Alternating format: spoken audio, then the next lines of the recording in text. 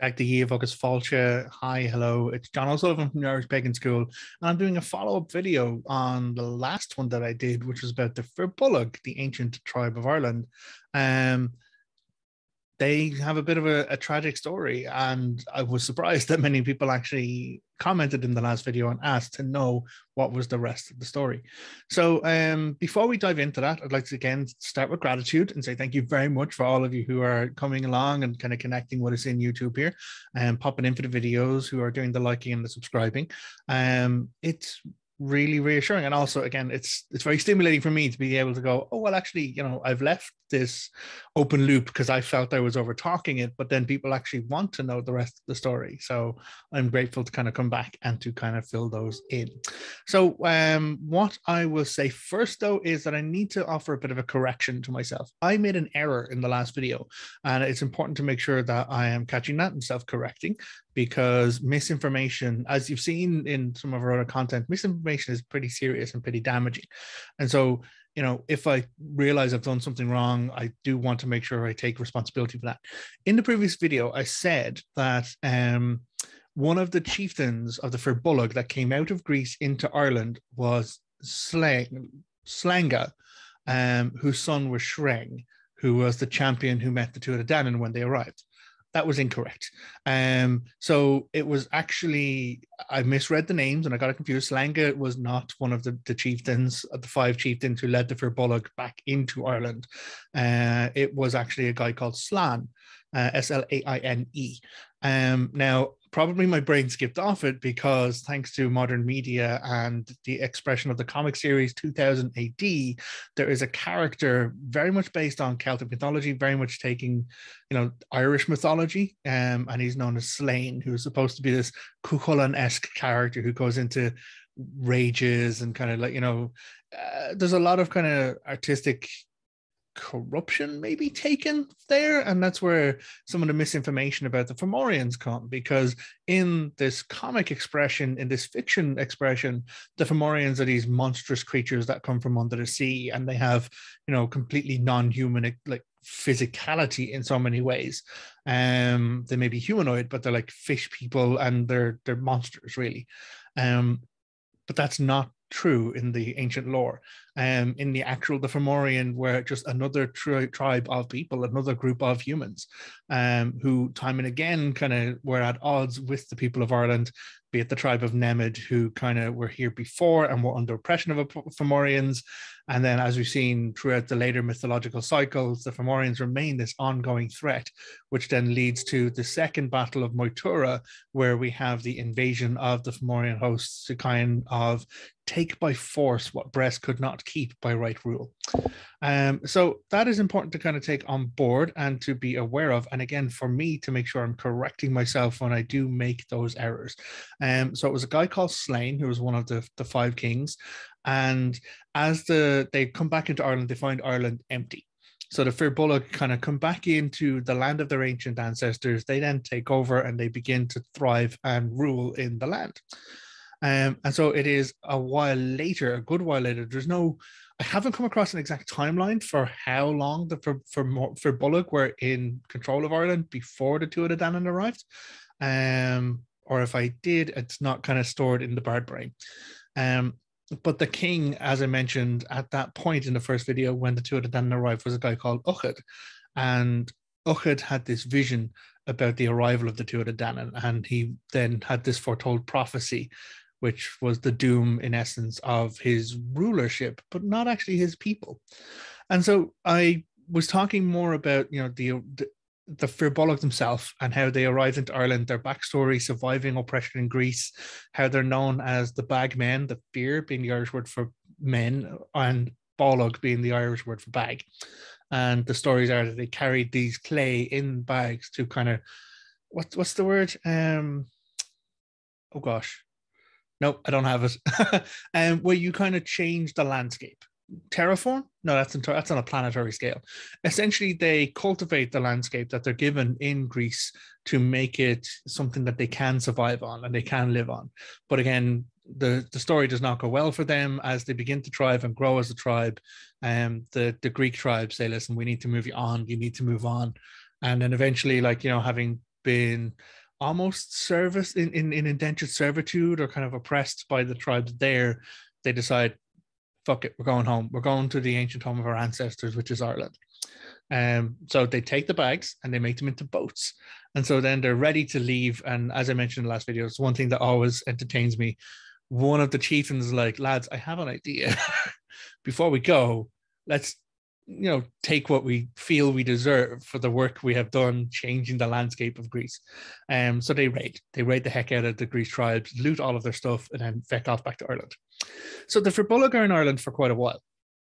They Ireland is abundant. Ireland is this beautiful landscape. It is this fantastic kind of green, all woods. Like it's a very the early kind of mythology as well gives a good description and view of Ireland in different contexts because we know that Ireland from a archaeological archaeological point of view was very much a primeval forest. It was very heavily forested. It was pretty much a, an entirely arboreal island at one point. Um, because so many of the Ireland's tales, so many of the feats that these champions and these heroes do involves clearing large sections of land. And so many plains and places in Ireland are named for the people who cleared the land to make room for the advent of agriculture in the early Neolithic kind of period. And so when we have the tales of the Fir Firbolg coming in, it, it's not a case that they are living in an agricultural landscape because that actually comes later on. The arrival of agriculture does seem to link with the Fomorian knowledge that we get from Bres. In fact, when Bres is put to brought to bear really at the end of the second battle of Moytura, one of the offerings he gives to save his life is the knowledge of agriculture and how to cultivate, you know, harvests throughout the entire year instead of just once a year. Um, but again, I'm jumping around in time here. I need to be going back to the Firbolg. So, but what we have though is this island that is very much a big primeval forest um, which fascinates me. I absolutely, I'm a big tree person. I love trees, um, and the idea of Ireland being that kind of very broad, very dense, like old deciduous forest, um, just really sings to me.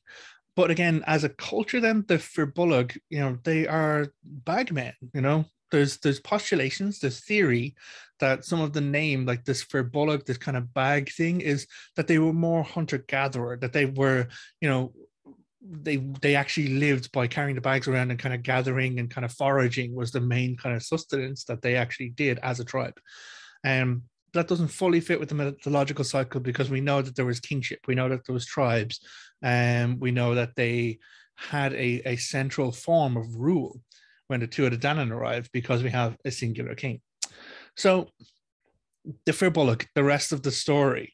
Um, I brushed across it in the previous kind of talk. I teach a class on in the Irish Pagan School called The Taking of Ireland. Um, and it's a, a really comparison between the first Battle of Moytura with the arrival of the Dé Danann versus the Firbolg and that exchange of power and rulership and then the end, the la- the end of mythological cycle when the Milesians arrive and the exchange of power that happens between the two, the Danann and the Milesians. Um, but what we see in this first battle of Moytura is not a war of totality. Um, it is not a war of eradication.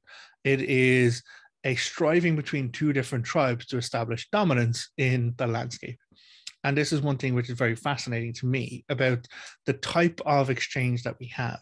This concept of total war doesn't really come into our understanding and our history until a lot later when we hit the kind of industrial revolution kind of period where an entire country is moved towards a war machine where the entire kind of industry of a country um, from harvesting of foods to feed soldiers from harvesting of kind of like fabrics you know from making the weapons. Like this idea of total war is a much more modern kind of approach to conflict um where again as i said it's an entire kind of nation is industrialized towards a war effort which we have seen in in world war ii world war one etc but that's a different history class for a different time.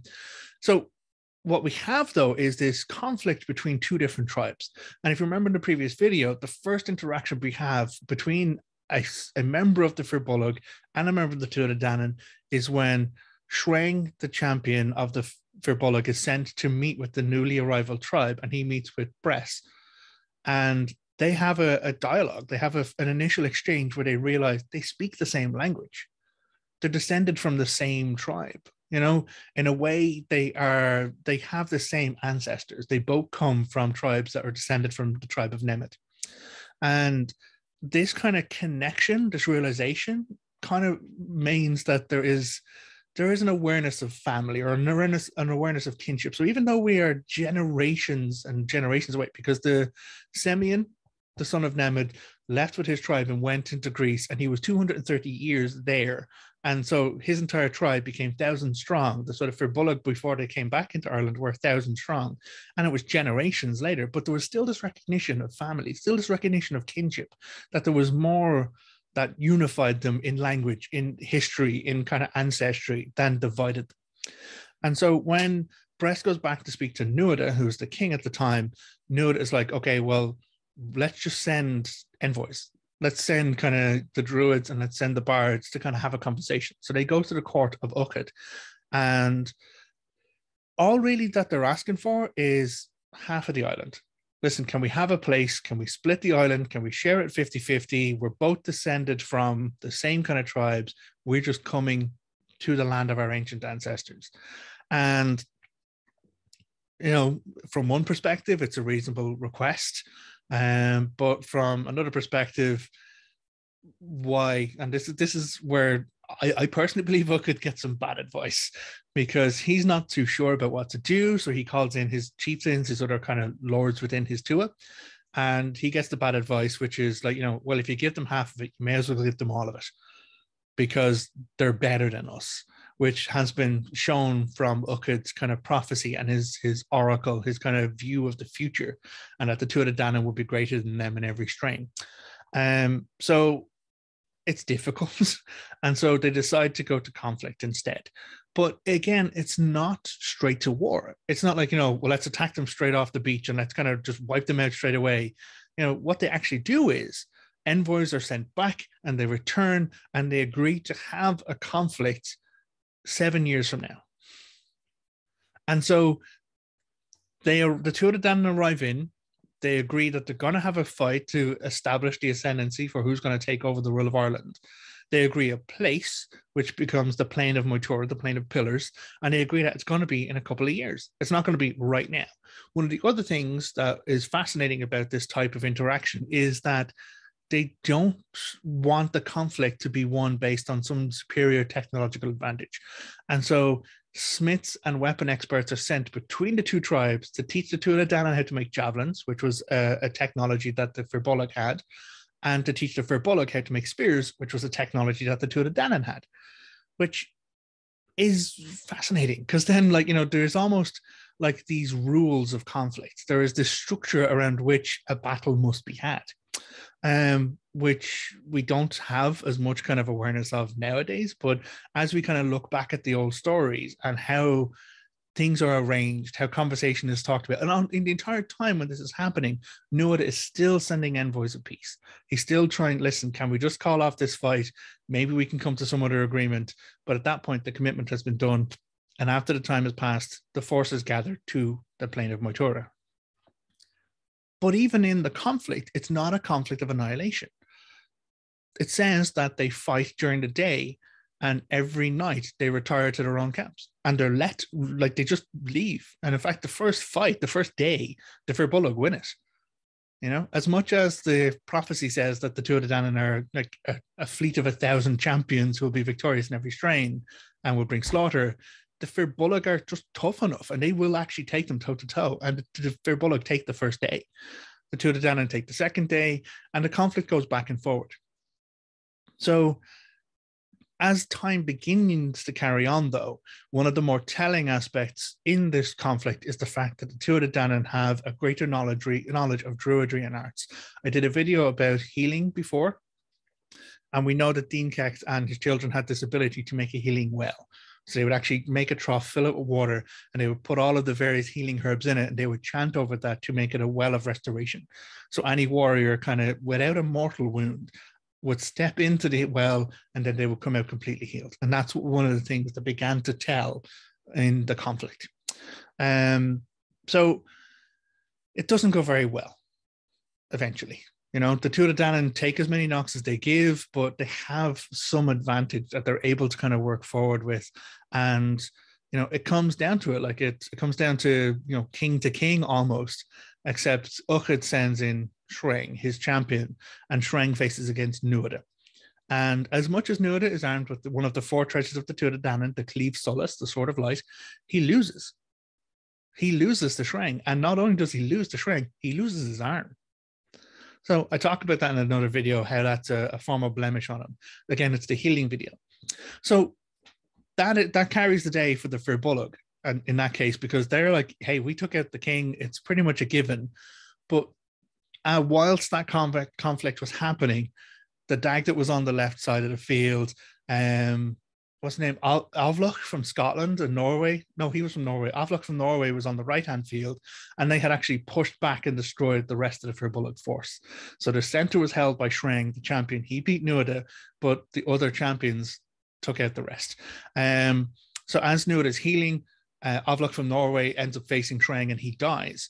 But there's been enough damage done that the can't actually sustain the battle. Um, and it does come to the last day. And in the last day, when the Tuatha Danann come to the field, the last of the Fir haven't kind of fled, haven't run away. They've actually gathered and they are standing like back to back as one group. They are just there. This is it. They're going to go out fighting to the last man. Um, and when Nuada approaches that, he offers single combat against Shreng. He's like, listen, we don't want to do this. We don't want to go to this annihilation. How about you and I fight f- like fairly and evenly, and we call the victory the victory based on that scrap. Um, and Shreng is like, yeah, I'm not too sure about that. And Nuada's like, well, just bind up your arms so that like we can fight both fight one handed. Uh, because again, Nuada has only one arm at this point, and Shreng is like, it's not my fault you had your arm cut off. You know, why should I give myself a forcible disadvantage just because you are not able to kind of keep up? Which again, very reasonable and very kind of smart about the circumstance. And Nuada's like, yeah, you know, you're not right. But again, we don't want to go to this point of annihilation. And so they call it done at that point. They did they agree then the war is ended. The Tuatha Dé Danann will go to ascendancy within the island, but the Fir Bolg will go to Connacht, one of the provinces. So the, the Fir Bolg tribe moved to the west coast of Ireland into Connacht um, and also into the islands out to the west of Ireland. So it is not the end of the story for the Fir Bolg there, though, because there is then, I've mentioned it before, there's this kind of intermingling and, and blending of different tribes that we see time and again throughout the stories one of the other very notable Fir Bolg people that you know is very influential when we look at the later stories in the mythological cycle on the run up to the second battle of Moytura is Tailtiu. And Tailtiu is the foster mother of Lugh. Lugh, who is the Ildánach, he of many talents, who comes to Tara and then goes to the seat of the king in order to lead them in the forthcoming conflict for the second battle of Moytura against the Fomorian invasion. Lugh was raised by a Fir Tailtiu was a Fir Bolg princess, and so he lived with his foster mammy, and he she was such an influence on him that he became the Ildánach, this person of all of these talents, but also so much so that when she eventually passed, and actually she passed trying to clear, she she herself cleared an entire plane you know, and it, the efforts in her age kind of like caused her her life, but she again cleared an entire land and when Lugh kind of came to that, he was like, well, I need to honor that. And so he decided to host games on this brand new plane of Tailtiu. And those games were called the Lunasa Games. And so now, even today, the Irish word for the month of August is Lunasa. And the name of one of the towns, the name of Tailtiu is still buried in Teltown, which is in Ireland today. So there's a town in Ireland called Teltown, which is Tailtiu's town in essence. So when we talk about like the impact of this and how the mythology and the lore and the history is so very real and very present to us, it's because it's still in our lived language. It's still in our lived landscape. But again, Tailtiu was Fir Bolg. So there wasn't any kind of, and again, like she wasn't just, oh well, yeah, here's this Fir Bolg we'll keep over there. She was a person of note. She was a person of like, you know, still status within the country, despite the fact that her tribe was not in ascendancy. And so fostering of children was a very, big, very big important thing. And the fostering of a child wasn't always done. Okay, in, in later times in the cycle of kings, it was done as a kind of like, listen, I'll I'll raise your kids in my household to kind of make sure you don't be a dick to me because I've got your kids. But in the older kind of like the theory is that in the older times, children weren't raised by one parental unit; they were raised by the community, by the Tuatha, by the tribe, and that's why there was so such a common fostering that all children born are children of the Tuatha, children of the tribe, not just children of a one family unit. Um, which you know opens up co-parenting stuff all over the place, which would be ideal if you had that shared kind of parenting understanding. So Fir Bolg, you know, they don't get annihilated. They don't get destroyed. They still exist at the end of that battle. And we see that they still, some of them still re- remain prominent people within Ireland and this blending of the tribes. But there is still the old conflict. You know, there is still this knowledge that they were the they were the ascendant tribe before the Tuatha came. And so when long time later, generations later, when the Milesians arrive, the Milesians kind of coming into Ireland find it a very difficult place to find because it's been kept um, behind these magical mists by the power, the sorcerous powers of the Tuatha Danann. Um, so eventually, when the tribes come in conquest from Spain, they, the actual Milesians come out of Spain, and um, they come in conquest for Ireland, and they can't find Ireland because it's so obscured. But eventually they do. They call upon their own fella, in fact, a guy called Amergin Glúngel, Amergin Whiteknee. And it's by his bardic power he is able to change and cast aside the mists because he's able to name things properly. The power of words is so crucially important that that is his sorceress manifestation. And they sail around the island and they come in on the west coast of Ireland. And in the west coast of Ireland, they find Firbolg. And so the Firbolg tribes in the islands out to the west, you know, seeing the arrival of another force, seeing arrival of like, you know, a, a conquering army, remember the old kind of grudges and they uh, they align themselves with the Milesians and they lead the Milesians into Ireland. Um, but that then puts them squarely between two superpowers of conflict. And that's the final tragedy, really, of the Firbolg. Uh, the ending of their tribe, the ending of their tale is as they try and you know not exist and integrate they they choose the, the size of the conquerors so even though you know the Milesians win you know it's not very doesn't go well for the for Bolog, unfortunately and that's where we have the end of their line the end of their tribe because the Milesians kind of take complete control of ireland and their chieftains then segment the land into how they're going to rule it and there's no there's no space for the Firbolg after that. It's not a case that you know the Firbolg get their section of land which had happened under the Tuatha Danann. The Milesians come in and they just take complete control. Um, and it's with the arrival of the Milesians that we have the shift and the change of the Tuatha Danann, because thanks to, again, some rather tricky wordplay by Amergin, um, he agrees a contract. An agreement is that the, in order to prevent annihilation, um, the Milesians will take the top of the island and the Tuatha Danann will take the bottom of the island and that's agreed. Both both tribes agree on it, but then thanks to tricky twisting of words, the Milesians are like, "Yep, so we'll take the top, which is everything on top, which means that everything at the bottom is everything below the ground." And so by that kind of manipulation of words, the Tuatha Danann, the survival the Danann, are then taken by Manannán MacLir into the hills, the Hollow Hills, which were known as the Sídhe, and then they become people of the Sídhe. They become people of the Hollow Hills. Um, so when we talk about the she in Ireland, we're not just talking about like oh fairy creatures or whatever. We're talking about the ancestral tribes of Ireland, and in fact, many of them are known as Aes Sídhe, which is an upper level or noble kind of noble she. And because there were she beforehand, that she existed in the Hollow Hills before the Tuatha Dé Danann went into the Hollow Hills and became Aes Sídhe. But the Firbolg having a long ancestry, having a long and ancient kind of past and their own kind of culture, and their own kind of interactions, you know, grew and changed as much as they could with the evolving times. But then the tragedy, the final tragedy is that, you know, when they aligned themselves with the Milesians to try and, you know, reestablish some dominance for their own tribe, they find themselves kind of ground between the two, two, two superpowers, as it were, of Ireland at that point. And that is the end of the Firbolg, unfortunately. So thank you very much for being with us. Um, I, as I said, it wasn't really great, or it doesn't have a happy ending for the Firbolg, unfortunately. But it is something to be aware of that there are these multiple tribes, and that is one thing I always try and get across with my talk and with my own kind of exploration of the Irish mythology and folklore, is that we're not dealing with one particular people. We're dealing with an island, and the island itself attracts many different tribes into the island but then also as their descendants kind of face oppression or challenges, they emigrate out of Ireland. But then the love of Ireland, the memory of Ireland, something about Ireland brings them back.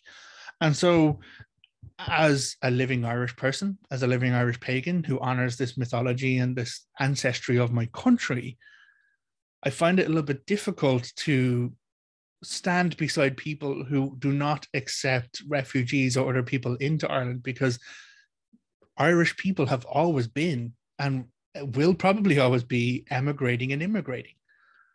Ireland is a place of, you know, having tribes here and then growing and then going out from Ireland and then coming back to Ireland. It's happened within my own family. My brother-in-laws, you know, have gone out to work and, and grow in Australia. One of them has come home to Australia. The other is living over in Australia, you know, and that's not an uncommon circumstance. Ireland is pretty small just in case you don't know, right?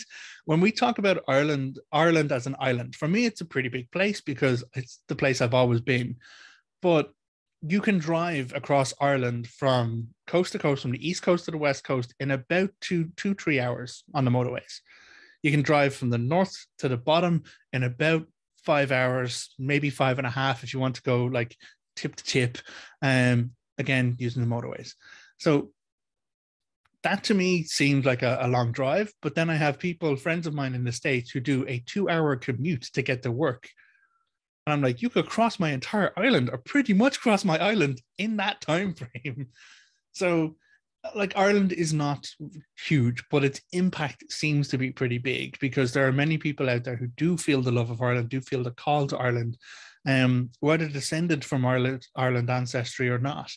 You know, so yeah, again, if people come to our country, you know, it's not a case that we should be defending against them. It's not a case where we need to be like, oh, well, we can't have people coming into our country because our country has always had people coming into the country.